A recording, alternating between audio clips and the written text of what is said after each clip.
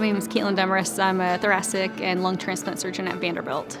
There's nothing greater than seeing patients post-op in clinic. You know, as a surgeon, I usually see them before the surgery and then, you know, post-op and see the immediate change. People's lives are completely changed. Most recently, we had a young woman. She was very, very sick pre-transplant. We had her kids come basically say goodbye to her in the hospital because she had a high chance of dying. And she did outstanding. Seeing her come to clinic with her kids afterwards was just incredible.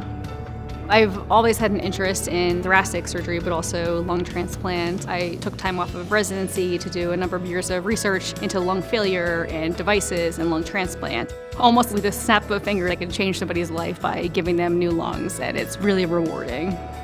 I've been very fortunate to have really good mentors. I did my residency at Columbia in New York and met awesome surgeons and good mentors at that time. Matt Bacchetta was one of my mentors at Columbia, and he helped me pursue a PhD, which I did during residency. He hired me at Vanderbilt, and we worked together collaborating with our transplants and thoracic surgery, but also in the lab having somebody that you can rely on to give you good career advice and somebody that can advocate for you is really important. ISHLT can really be beneficial to early career faculty and trainees to help you identify appropriate mentors that share interests with you and also allow you to attend meetings like this where you can see everybody's work, their research and clinical activities and help you further identify mentors and experts in the field that can help elevate your career.